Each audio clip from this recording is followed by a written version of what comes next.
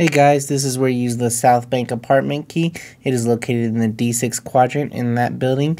You will go to the next to the top floor and it'll be an apartment door right there. Pretty easy.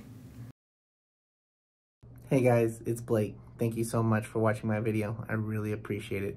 If you did enjoy it, please like and subscribe to my channel for more videos just like it. Take care and have a great day.